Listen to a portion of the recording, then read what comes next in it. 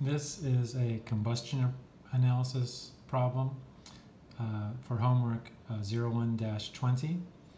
It says complete combustion of a 0.85 gram sample of the unknown powder with excess oxygen produced uh, the numbers given there for grams of oxygen, grams of H2O, and grams of N2 nitrogen, and the molar mass is 149. We know that in combustion analysis, all of the carbon dioxide gets converted into carbon. So I set up a uh, molar mass to get the moles of carbon dioxide. And then there's a one-to-one -one ratio moles of carbon dioxide to carbon. This gave me my moles of carbon, which I then turned into grams of carbon. I'll need both of those later in the problem.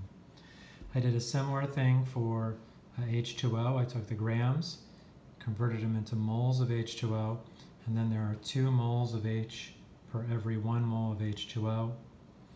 And that got me my moles of hydrogen, and I got my grams of hydrogen using the molar mass there. Now, um, from there, uh, my nitrogen was N2, and I realized that that was all nitrogen. So even though it's the same number of grams of nitrogen, it's all, uh, N2, it's also the same number of grams of just plain N which I then converted into moles of nitrogen. Good. And then I need to define the oxygen in my sample because there are four elements, carbon, hydrogen, nitrogen, and oxygen. When I did that, I took my grams of my sample, subtracted off my grams of carbon, hydrogen, and nitrogen. So those are the three elements uh, that I'd found so far. And when I did that, I got minus 0.00002 grams of oxygen.